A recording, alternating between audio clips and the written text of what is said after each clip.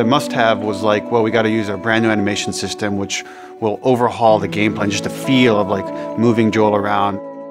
But we want to do that in a way that preserves the way Joel's movement felt in the original game. Joel doesn't control like Ellie. Joel needs to feel more like a tank, more like a brute.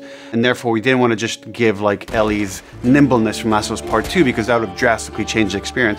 And we want people to be able to play Part 1 and then go straight from that into Part 2 and feel the difference in these characters and the journey that they're going on. Rather than just having a set of animations, they're like, oh, this is Joel moving left, this is Joel moving right a mocapped actor has gone in and run this whole gauntlet of movements to get a really full set of all the different ways a person can move. And then motion matching tries to find the best matching animation. It's this really smooth organic movement through the space.